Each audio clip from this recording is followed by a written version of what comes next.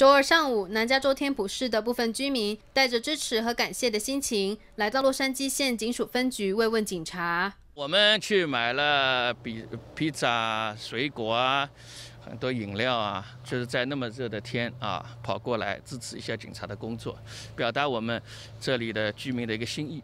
方先生指出，自黑人命贵抗议发生后，美国各地纷纷出现警局预算被削减，导致治安状况日益恶化。暴力犯罪的数量激增。现在纽约、芝加哥都有很大问题啊，波特兰都有很大问题啊。这这个问题很严重，就是会严重到整个社区的房价会大掉的。因为在这种社区的话，大家不敢居住下去嘛。房价掉了，经济活动减少了，等于就是税收就减少，税收就减少了以后，政府的呃那个 budget 预算就减少。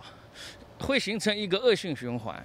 反观洛杉矶县，除了削减警察预算，还提前释放大量重刑犯。对此，民众感到十分忧心。我们认为，甚至应该给警察增加费用。为什么？现在警察的风险比以前大很多。因为你看，最近举个例子，我们州长释放了至少八千多个重罪犯、各种罪犯到大街上，这些人难道都回家睡在家里不动吗？事实上，加州自2011年就先后通过一系列法案纵容犯罪，其中有将重罪减为轻罪的 AB 109号法案，和盗窃不超过950美元不必入狱的47号法案，以及提前释放非暴力罪犯的57号法案。而自从中共肺炎疫情爆发后，加州分别于四月和七月总共释放超过一万名囚犯，再加上刑满释放者，加州今年释放的囚犯人数已经超过1.6万人。